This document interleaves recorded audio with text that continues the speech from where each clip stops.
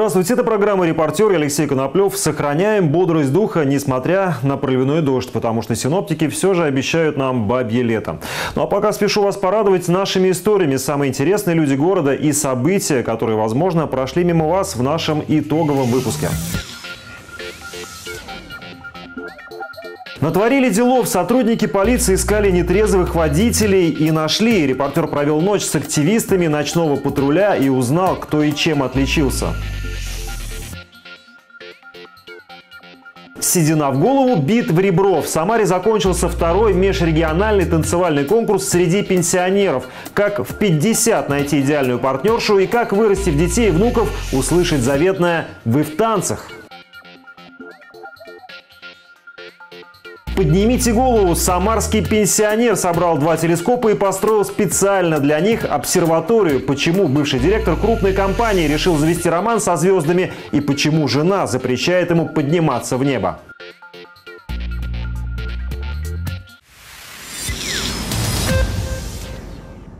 Самарские инспекторы ДПС на этих выходных приняли участие в рейде «Найди, догони и задержи». Отрицательными персонажами ночного шоу выступили водители.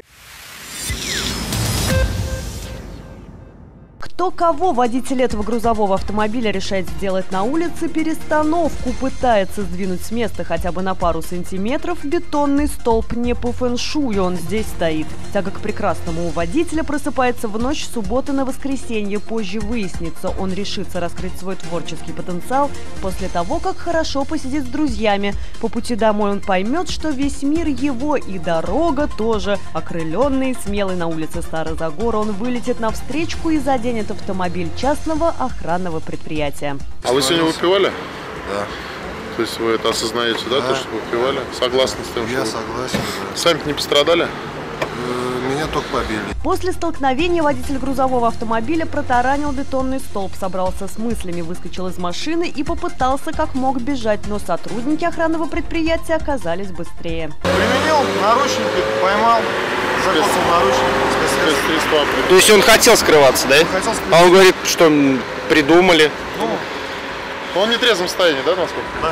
Подробности этого знакомства будут выяснять сотрудники дорожно-патрульной службы. Практически в то же время, только на другом конце города полицейские приняли на рассмотрение еще одно дело о беглеце. Дорожно-транспортное происшествие произошло практически под носом одного из главных ведомств области напротив управления госавтоинспекции. Иномарка, врезавшись в отечественную легковушку, отлетела в здание. Предполагаемый виновник ДТП решил сделать вид, что ничего не произошло и поспешил ориентироваться. Его задержали очевидцы аварии до приезда экипажа ДПС. Потом вопросы уже возникли у сотрудников в форме. Покажи ему. В графе вот пройти медицинское освидетельство, значит, пишет слово «не согласен». Пока с водителем иномарки вели беседу сотрудники правопорядка, на месте ДТП появился брат шофера. Семейные узы, видимо, дали о себе знать, и ноги сами привели его. Позже у полицейских возникнет вопрос. В момент аварии в машине мог быть и этот молодой человек. Я, я просто, я, я просто в рок-баре отдыхал, мне позвонили. А что тоже у вас на этом? Что, ну это асфальтная болезнь. Водитель иномарки в ближайшее время будет расплачиваться с долгами. Ему предстоит выплатить штраф и компенсацию за повреждение здания.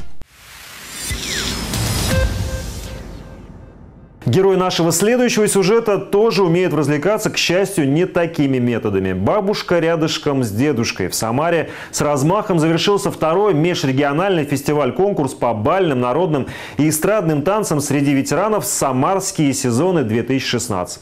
На сцене ДК имени Литвинова танцоры со всей страны почти час доказывали, что свою минуту славы каждый может получить даже на пенсии. Репортер побывал на танцевальном рейве для тех, кому за 50, разузнал, какие стили и направления в тренде у ветеранов и выяснил, о чем они после выхода на сцену уже никогда не будут жалеть. Ножка в сторону, юбочка по ветру, мейкап и наряды, берегись, подиум. На сцене обворожительные, утонченные и очень амбициозные. Им всегда 18, пусть даже с хвостиком и пенсионным удостоверением. Среди участников смотра конкурса «Самарские сезоны 2016» исключительно те, кто свою трудовую книжку уже давно забросил на антресоли. Профессию всей жизни они только начинают осваивать. И пока 20-летние о такой только мечтают, они доказывают, чтобы попасть в танцы нужно всего-навсего стать бабушками и дедушками. С детьми управлять легче, чем с ними. Каждый, потому что по-взрослому имеет свое «я». И нужно как-то находить общий язык с каждым, индивидуальным. Вот эти мне всю жизнь хотелось танцевать, но так сложилось, что только вот когда на пенсию вышел, тогда удалось притворить свое желание в жизнь. А я вообще не самарская, я пуховсливская. Но приехал сюда понянчить внуков, увлекли танцы и занимаюсь здесь три, четыре, четыре года. Разговорившись с репортером, бабушка Надежды не сдерживается и раскрывает секреты. К танцам она 43 года неровно дышала, но после школы увлечение сценой пришлось забросить. Надя усердно работала, воспитала троих детей, а потом выненчила и несколько внуков. И вот теперь надежды, надежды наконец оправдались. Ее звезда сияет на сцене. В целом созвездие таких же не по годам молодых и не по возрасту грациозных. Наша пара сложилась, мы танцуем третий год всего, в общем-то. Начали мы небольшие там латиноамериканские танцы, сейчас у нас уже э, где-то порядка восьми танцев. Дело в том, что мне очень хотелось танцевать на высоком уровне, и это единственная женщина, красавица и партнерша, которая, которая может танцевать на этом уровне. Вот. И я никогда так не танцевал, как сейчас с ней. И никогда у меня не было такой партнерши. Если бы не рвение, Анатолий до сцены добрался бы только в роли инженера и осветителя. Выпускник московского технаря уже после вуза решил, что он просто обязан приобщиться к высокой культуре. На раз, два, три, четыре встал, пошел и завальсировал. Теперь и сам преподает, а в тандеме с партнершей пируэты на зависть всем молодым выделывает. В их репертуаре латино, стандарт, вальс, американские танцы и еще с десяток направлений. А для пенсии даже это далеко не предел мечтаний. Как сказал Марк Твен еще свое время, что в старости мы будем жалеть только о двух вещах, что мало любили и мало путешествовали. И, значит, я мечтаю, я купила один журнал «Провинские балы», что там, оказывается, не только VIP вот, э, персоны танцуют, а там очень много балов. И вот я своих вот заражаю, значит, давайте, говорю, венский вальс выучим и поедем в Вену. Тем более у нас один мужчина, тоже солист, ему вот 1 э, октября 80 лет исполняется, вот он с нами танцует. И у него сын живет в Вене. И вот он приехал к нему сейчас э, в гости вот на юбилей. И я ему тоже говорю, он, мы встретились, я говорю, хотим к вам в Вену попасть. Вот у меня такая мечта, и вот прям вот мне кажется, мы ее осуществим. Я работаю третий год, и я вижу результат, понимаете? Если это было в начале более упрощенный вариант, то теперь мы можем что-то сложное танцевать. Руководители танцевальных коллективов, где всем немного за 18, тоже те еще рекордсмены. Они в свои годы еще и не то станцуют за плечами десятки лет танцевального стажа. Теперь на счету сотни пенсионеров, которых они вытянули с грядок, лавочек и поликлиник и поставили прямо под цвет софитов. Это получается а, направление в жизнь.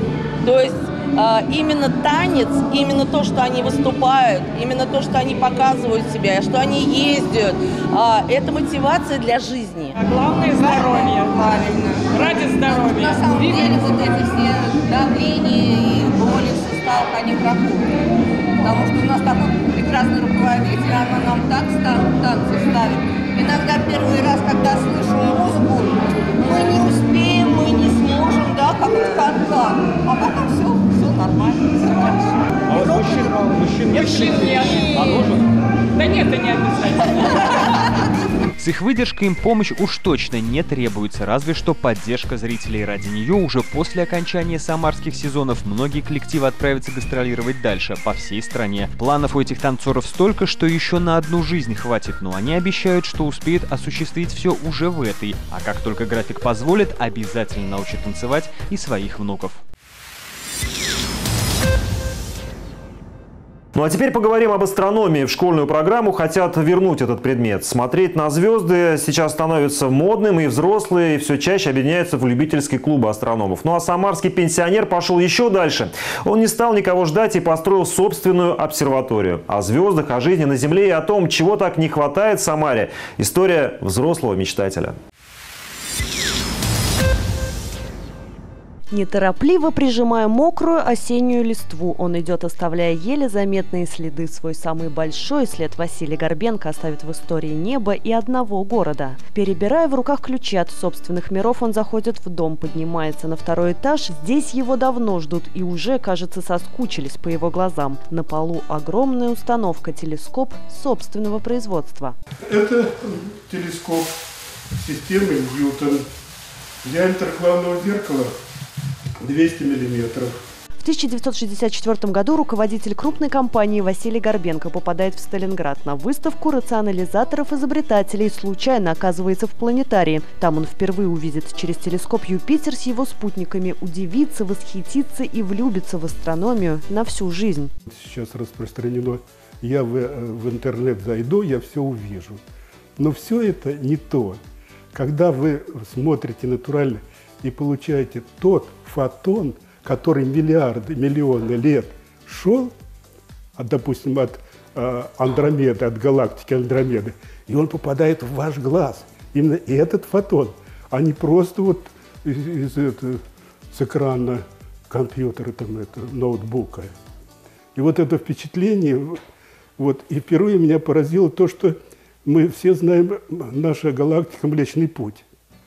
Но тогда, когда вы посмотрите в телескоп, особенно вот в мой мощный, он до 14 величины дает звезду, можно видеть, там такая бездна звезд и такой провал изумительный, что вы не можете оторваться. Все началось с обычной трубы увеличением 30 и 60, но этого пытливому Василию Михайловичу вскоре стало не хватать. В гараже он сделал станок для того, чтобы шлифовать зеркала, и все почти получилось. В последний момент, когда надо было сделать центральное отверстие, чтобы развернуть зеркало назад, все посыпалось. Астроном с хваткой руководителя тут же придумал решение проблемы, нашел зеркало нужного диаметра в столице и, наконец-то, собрал конструкцию, которая приблизила его к звездам. Для него открылся весь Млечный Путь. Самые красивые созвездия Андромеды и Ориона. Там конская голова и есть угольный мешок. Вот чернота. Вот такой черноты вы нигде никогда не увидите. Только в телескоп можно посмотреть вот на эту гигантскую облачность и конская голова, вот эта вот чернота, она завораживающая. Вас прям туда так и втягивает. Вот какое-то мое душевное я чувствую душевное равновесие, когда я наблюдаю. Руководитель изобретателя, великий фантазер на этом не остановился. Василий Горбенко все-таки решил отправиться в небо. Он стал проектировать аэросани, но в дело вмешалась супруга. Она говорит, ради бога, занимайся этим, только не строй самолет. Поэтому я не стал делать самолет, хотя у меня очень прекрасные были эскизы летающих аппаратов. Воздух мечтателя Василия Горбенко не пускают по ряду причин, но он и на Земле себе найдет миллион дел. Астроном в перерывах между наблюдениями доделывает глобус звездного неба 88 созвездий и тысячи звезд. Есть на каждой созвездии мифы, поэтому я решил э, изобразить э, натурально. Если, например, кит, значит кит, Андромеда, значит вот сидит Андромеда с цветочком – Василий Горбенко предлагает репортеру увидеть его самый зоркий глаз. Для этого гигантского телескопа астроном специально построил обсерваторию. Я привез э, стекло 310 миллиметров. Вот, заказал э, трубу э, из э, оцинковки. Она вот витает, а, эта труба. А эту трубу хорошо обклеил для того, чтобы она не вибрировала. В этой конструкции нет пайки, здесь хитрый замок. Авторская разработка изобретателя Горбенко. Башня вращается на специальных подшипниках, а вскоре она будет перемещаться по велению электроники. У него еще много планов в свои-то 87. Каждый раз, смотря на звезды, он просит для других. Астроном мечтает прийти в большой самарский планетарий и разделить свой восторг с сотнями любителей, смотреть в небо. А у самарских фонтанов последний день сентября официально завершился сезон работы. В октябре в фонтанах спустят воду и начнут готовить их к консервации. В этом году в Самаре работало больше 30 фонтанов. На Самарской площади, на бульваре по улице Старый Загора, на пересечении улицы Осипенко и проспекте Ленина, на набережной и почти во всех парках и скверах. Ну что ж, будем ждать лета 2017 -го. До новых встреч, городские фонтаны. Это все, о чем успели вам рассказать. Я прощаюсь с вами до завтра. Увидимся в эфире и на официальном сайте телерадиокомпании «Губерния». Всего доброго, берегите себя.